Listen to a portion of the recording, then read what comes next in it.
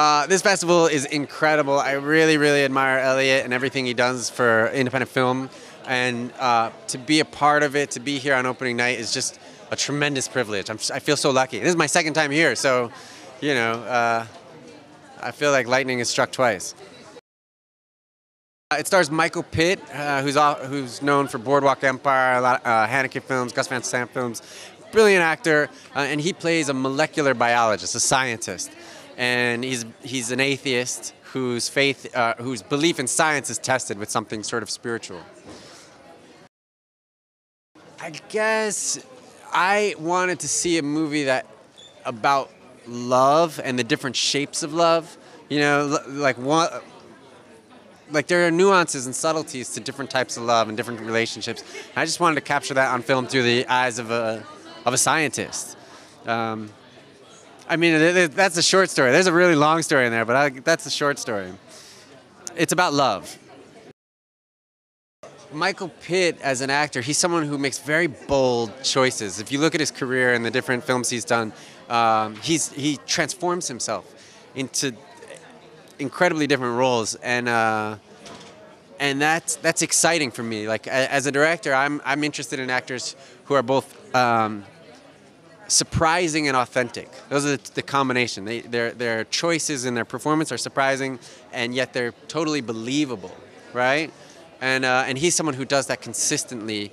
Uh, with the greatest level of integrity, and and Brit as well. Like she is someone who, who's capable of dialing a performance to such nuance, uh, which her character in this film requires. It's it's a very very difficult role to, to pull off, and she does so swimmingly. Well, I, I really like rehearsals, and I also like to use two cameras simultaneously, so that the that the blocking could be loose, and that you know one of the, one of the things that's important is to create an environment where you can capture magic that's unpredicted, right? So. Uh, so we would shoot with two red cameras. We would, you know, we'd rehearse, we'd rehearse, and then we'd kind of just let it live and, uh, and and capture the spont- being prepared to capture spontaneity. And some of the greatest moments in the film are, you know, improv lines or, or moments that are. Um, were not scripted, but we took advantage of and, and worked perfectly in terms of the story.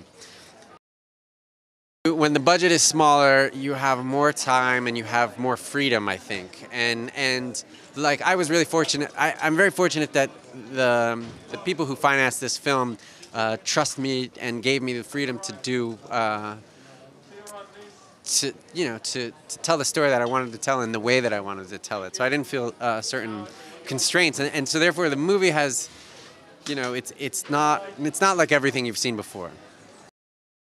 It's in the same existential sci-fi universe. Um, I'm into that kind of thing. I'm, I like movies about identity, questioning like what is the self. In, in a way, another Earth, um, a person looks at themselves uh, separated by space. In this movie, a person looks at themselves but separated through time. Uh, so those questions are really interesting to me. You, you'll feel when you see it, you'll feel you'll feel the same handiwork behind it. Although we upped the ante quite a bit.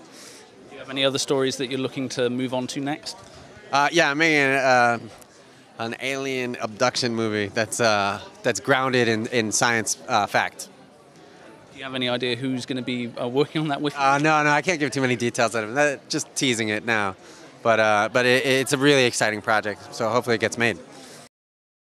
You need to go see this movie. Uh, you don't need to go see it, but uh, but I would. Uh, I think after I've heard from people who have seen it and from groups of people that've seen it that you end up staying up till like six o'clock in the morning, drinking wine, talking and discussing about the themes of the movie. Um, and I think that's exciting. Like good conversations I heard come from the film. So, so that's why if you want to talk to somebody till six in the morning over a bottle of wine, see this movie.